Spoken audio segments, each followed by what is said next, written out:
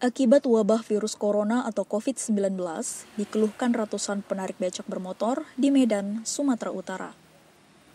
Pasalnya, para penarik becak mengaku omset pendapatan mereka turun drastis, bahkan tak jarang mereka tidak mendapat uang sama sekali. Setelah pemerintah Provinsi Sumatera Utara menginstruksikan sekolah libur sementara dan sejumlah kampus di kota Medan menerapkan e-learning demi mencegah penyebaran corona atau COVID-19. Namun kebijakan tersebut ternyata sangat berpengaruh terhadap pendapatan para penarik becak bermotor di kota Medan. Seperti yang dirasakan ratusan penarik becak motor yang setiap harinya mangkal mencari penumpang di depan makam pahlawan, Jalan Sisingamangaraja, Medan, Sumatera Utara. Memasuki lebih dari tiga pekan ini, mereka tak lagi mendapatkan penghasilan yang memadai untuk bisa bawa uang pulang ke rumah. Lantaran penumpang sepi, bahkan tidak ada sama sekali penumpang. Para penarik becak motor mengaku sebelum virus corona atau COVID-19 mewabah di kota Medan, setiap harinya mereka masih bisa mendapatkan uang sebesar 70 ribu atau paling tidak rupiah per. Namun sejak adanya wabah virus corona, mereka hanya mendapatkan pendapatan sebesar 20 ribu per hari. Itu pun sudah berkeliling untuk mendapatkan mulai pukul 7 pagi sampai pukul 2 Bahkan tak jarang para abang beca ini kerap bertengkar dengan istri di rumah karena tidak membawa uang untuk membeli kebutuhan pokok. Nah, asal saya narik cuma inilah bang, dua ribu perak itu bang saya. Ada yang lainnya. Dari saya pagi keluar, inilah penghasilan saya ini.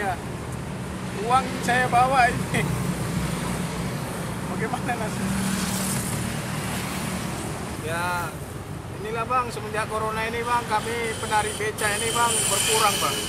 Nah, dari biasanya kami dapat ke rumah, ini sama sekali berkurang, sangat berkurang lah bang.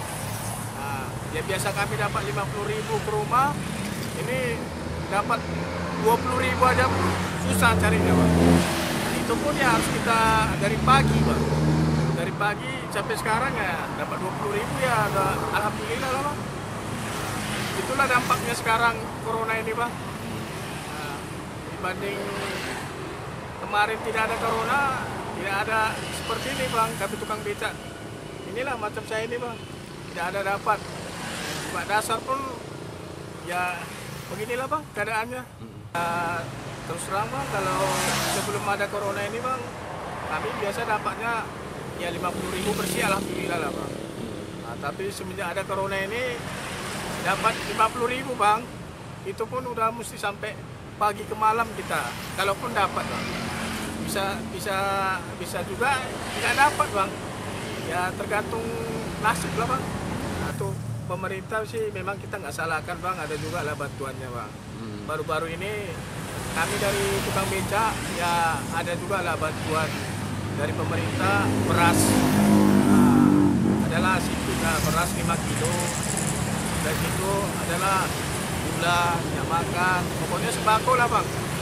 Adalah kira-kira ada berapa kali lah gitulah dari kami. Tukang beca ada bantuan lah bang. Cuma ya kami memang sangat bersyukur lah bang. Ada bantuan dari pemerintah. Tapi ya kalau boleh ya lihatlah kami ini. Tukang becak gini lah bang. Nah, kemungkinan ya bantuan itu memang kalau boleh ya pemerintah itu harus melihat keadaan kami dari tukang becak gitu lah bang. Ya pendapat saya memang alangkah baiknya juga bang pemerintah menganjurkan kita di rumah bang. Tapi kalau kita di rumah bang kalau nggak kerja kita mau makan apa bang? Kita mau biayai itu anak sama istri dari mana bang? Kalaupun memang ada bantuan dari pemerintah, apa mungkin kita bertahan dalam tempo yang ditentukan pemerintah itu bang? Nah, itulah apanya. Seperti memang kalau kalau kita di rumah bang, alangkah baiknya juga memang. Tapi kalau kita nggak kerja bang nggak mungkin ada juga keperluan yang lain gitu bang. Nah, gimana cara bayar ini? Gimana cara itu kalau dari hanya bantu pemerintah kan itu hanya terbatas nih bang. Ya kalau pesan saya ya buat pemerintah ya kalau boleh ya diperhatikan aja lah. Kami ini orang-orang susah gitu bang.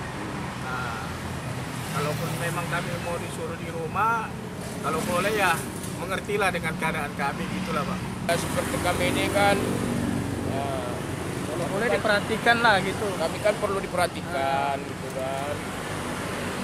Nah, selama ini kami apa namanya udah cukup berusaha lah di lapangan gitu kan. Toh juga nggak dapat. Dan tolonglah diperhatikan gitu. Jadi selama masuk corona ini untuk makan pun udah susah. Nah, untuk makan saja pun udah susah apalagi untuk keperluan yang lain. Jadi ya kita berharap secepatnya ini corona ini berlalu gitu. Supaya Kita ekonomi kita supaya normal balik gitu ya. Kembali normal seperti semula gitu.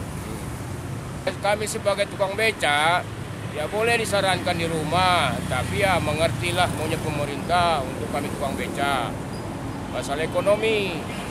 Kita disuruh di rumah ya tentunya saat kita kan mau makan. Perlu mau makan kan gitu. Namanya tukang beca kalau nggak ada uang di kantong ya tentu saja keluar cari uang gitu kan. Keperluan yang lain lagi lah. Nah untuk keperluan lain. Selain makan gitu kan. Para penari becak bermotor berharap adanya perhatian pemerintah untuk melihat nasib mereka di tengah wabah virus corona atau COVID-19 saat ini.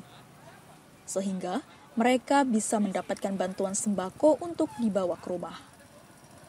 Tim Karya TV dari Medan, Sumatera Utara.